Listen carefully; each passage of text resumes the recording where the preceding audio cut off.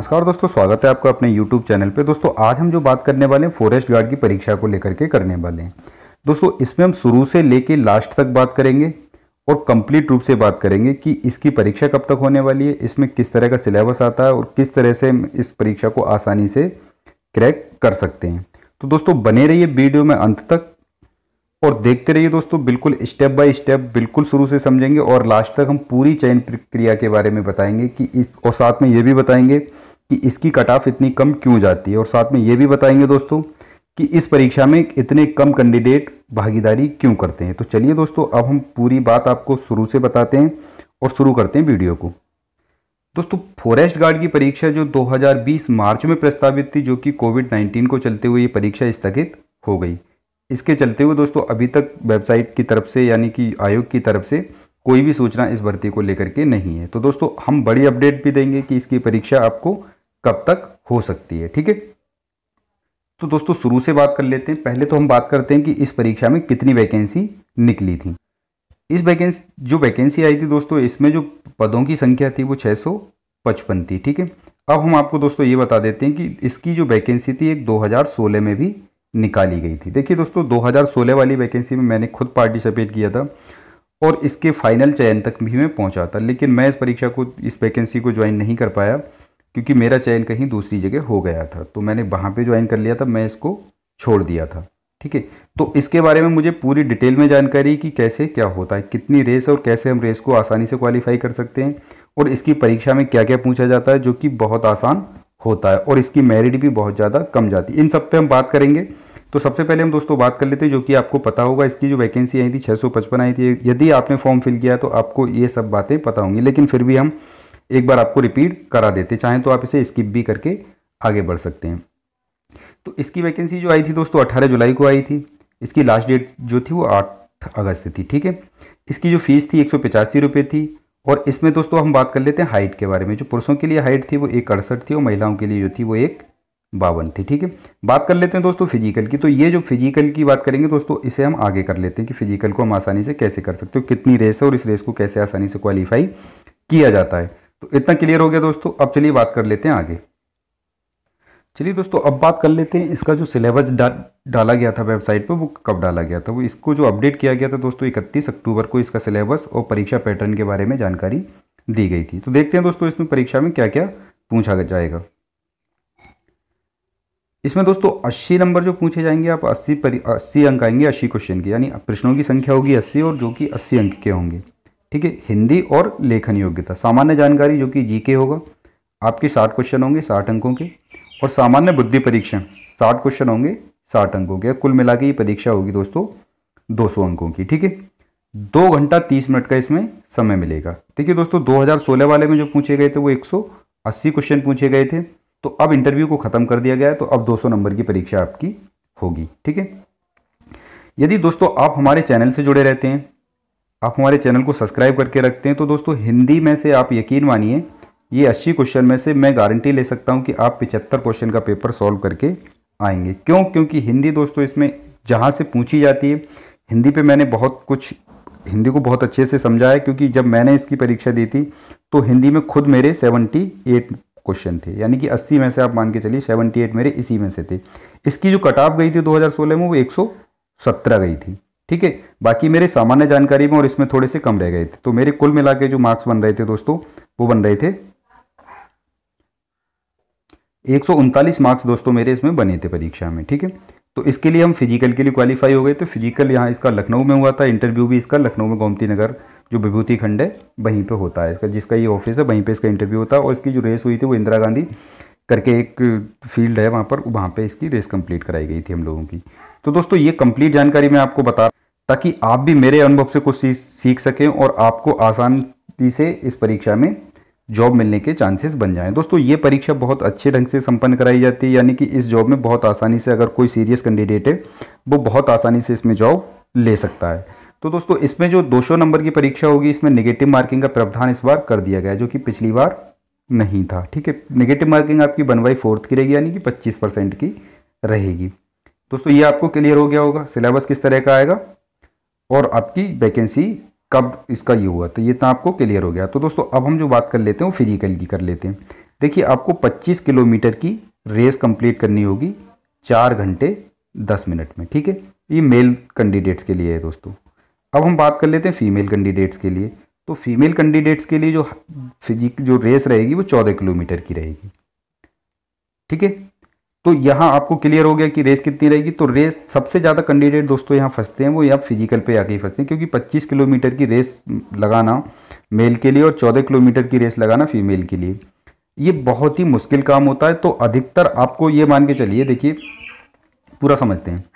आप मान के चलिए 655 वैकेंसी है इसके लिए, ठीक है? इसमें पाँच गुना कैंडिडेट पास किए जाएँगे। तो ये वैकेंसी हमारी लगभग पैंतीस के आसपास जाएँगे, ठीक है कैंडिडेट छः पंजे तीस और पाँच पंजे पच्चीस, यानी कि साढ़े बत्तीस सौ कैंडिडेट हमारे इसमें बैठ रहे हैं। तो मान के चलिए अब पैंतीस सौ कैंडिडेटों को कॉल किया जाएगा फ़िज़िकल के लिए। अब इन पैंतीस सौ कैंडिडेट्स में दोस्तों होता ही है कि सौ सौ के ग्रुप में लड़के भगाए जाते हैं, ठीक है?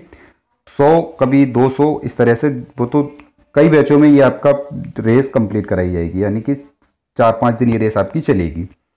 तो मान के चलिए आप सौ में से बीस लड़के ही दोस्तों यहाँ क्वालिफाई कर पाते हैं। तो आप पिछली वैकेंसी को उठा के देखेंगे। तो उसमें छः सौ चौंसठ वैकेंसी थी। तो छः सौ चौंसठ वैकेंसी में से लगभग जो वैकेंसी फिल हुई हैं, वो 580 के आसपास वैकेंसी फिल हो पाई हैं, ठीक है? कुछ लड़कों इसमें एबसेंट हो गए थे जो कि फ़िज़िकल देने ही नहीं गए थे। और जो लड़के फ़िज़िकल देने गए थे, उनमें से आधे से ज़्यादा लड़कों पे फ़िज़िकल इसका पास नहीं हो पाया था। तो सबसे बड़ी जो दिक्कत आती है, वो इसकी फ़िज़िकल को लेकर के आती है। इसीलिए इसमें दोस्तों फॉर्म कम फिल होते हैं और इसी, यहीं से ये वैकेंसी थोड़ी सी हार्ड हो जाती है। यदि आप फ़िज़िकल रूप से तैयार हैं बिल्कुल और आप सोचते हैं कि आप 25 किलोमीटर की रेस को आसानी से कंप्लीट कर सकते हैं। तो दोस्तों, ये मान के चलिए आपके लिए बेहतर अपॉर्चुनिटी फॉरेस्ट गार्ड में मिल सकती है। सबसे आसान और सबसे कम पढ़ाई करने जो मेरा मतलब है कि कम तैयारी करके भी आप इस नौकरी को हासिल कर सकते हैं। पिछली बार का जो कट ऑफ़ की अगर हम बात करें तो मेल की जो कट ऑफ़ गई थी वो 177 गई थी। जनरल और ओबीसी को लेकर के थी दोस्तों, ठीक है? तो 177 कट ऑफ़ गई थी दोस्तों, ये 180 क्वेश्चन में से। आप मान के चल सकते हैं कि सॉरी 177 नहीं है दोस्तों 117 कट ऑफ़ गई थी, ठीक है? 117 कट ऑफ़ गई थी दोस्तों 180 में से। तो आप यहीं से देख के चलिएगा कि 180 में से 117 कट ऑफ़ बहुत कम होती है, क्योंकि सबसे ज़्यादा वेटेज जो रहता है वो यहाँ हिंदी का रहता है। और हिंदी में आप यकीन मान के चलिए, अगर आप मेरे चैनल से जुड़े रहेंगे तो हिंदी में आपको कहीं से कहीं तक कोई दिक्कत नहीं होगी। मैं गारंटी के साथ ये कह सकता हूँ कि आप अस्सी में से पिचहत्तर क्वेश्चन आसानी से पा सकते हैं।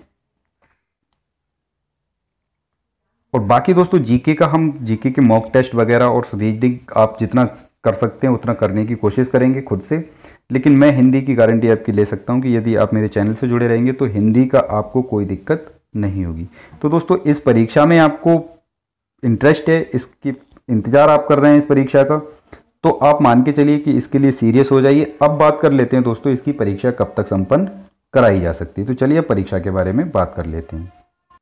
तो दोस्तों, आयोग ने अपना काम शुरू कर दिया है। अभी हाल ही में आपने लोअर टू वाला रिज़ल्ट देखा होगा, दो, जो कि 2019 वाला रिज़ल्ट था वो घोषित कर दिया गया है, ठीक है? इसके बारे में आपको सूचना मिल गई होगी। तो दोस्तों, अब इस परीक्षा, देखिए यूपी ट्रिपल एससी से फॉरेस्ट गार्ड की परीक्षा टॉप पे लगी हुई है। अगर परीक्षा शुरू होती है तो सबसे पहले फॉरेस्ट गार्ड की परीक्षा ही संपन्न कराई जाएगी, ठीक है? पहले हमने बताया था कि ये परीक्षा मार्च में संभावित थी, लेकिन कोविड नाइन्टीन को देखते हुए परीक्षा डिले हो गई।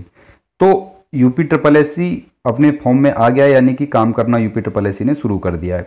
पूरी तैयारी थी यूपी ट्रिपल एस की, कि मतलब फॉरेस्ट गार्ड का जो पेपर है, वो मार्च में करा लिया जाए, लेकिन कोविड नाइन्टीन को देखते हुए पेपर डिले हो गया। अब इसकी परीक्षा की जो डेट है, वो दोस्तों अक्टूबर माह में बताई जाती है 2020 अक्टूबर। अक्टूबर में किस दिन ये परीक्षा होगी दोस्तों, इसकी सटीक जानकारी नहीं है, लेकिन बताया यह जा रहा है कि अक्टूबर में ये परीक्षा आपकी संपन्न करा ली जाएगी, ठीक है? तो ये जानकारी दोस्तों हमें मिली है, जो कि हमने आपके साथ शेयर कर और बहुत जल्द इसकी जानकारी यूपी ट्रिपल एस की ऑफिशियल साइट पर आपको देखने को मिल जाएगी। अभी कुछ दिन, अभी कुछ दिन पहले दोस्तों यूपी ट्रिपल एस के जो चेयरमैन है, उनका इंटरव्यू किया गया था और उनसे परीक्षा की तिथियों के बारे में पूछा गया था कि कौन सी परीक्षा आप कब संपन्न कराने वाले हैं। तो उन्होंने भी दोस्तों यही कहा था कि कोविड नाइन्टीन के चलते हुए जुलाई और अगस्त में शायद कोई परीक्षा संपन्न ना हो पाए, ठीक है? यानी कि जुलाई और अगस्त में परीक्षा आपकी संपन्न होना मुश्किल है। कोई भी यूपी ट्रिपल एस की परीक्षा संपन्न नहीं होगी। आपको भी पता होगा कि पंद्रह अगस्त तक कॉलेज और स्कूल भी बंद हैं। ठीक है?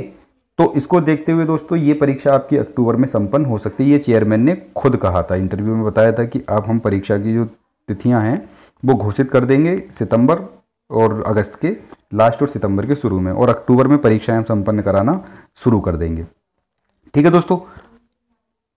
तो दोस्तों, आप अपनी तैयारी पूरी तरह से बनाए रखिए। यदि आप फॉरेस्ट गार्ड में इंटरेस्टेड हैं फॉरेस्ट गार्ड को निकालना चाहते हैं, हर हालत में इसमें जॉब पाना चाहते हैं तो आप मान के चलिए आपके पास दो से तीन महीने का समय अभी है और किसी भी परीक्षा को निकालने के लिए कम से कम आपके पास तीन से चार महीने का समय होना चाहिए, ठीक है?